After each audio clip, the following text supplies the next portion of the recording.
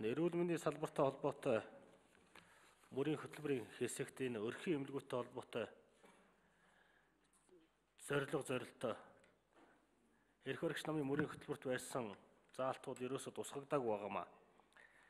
Эрүүл мэндийн төвүүдийг гэсэн үг байна. Элэг гэсэн үг байна. Хүүхдийн эмнэлэг гэсэн үг байгаа. Одоо нэг үгөө хэлэхэд улс орон даяар байгаа өрхийн бүх эмнэлгүүд ачаалаад дийлэх болсон байна.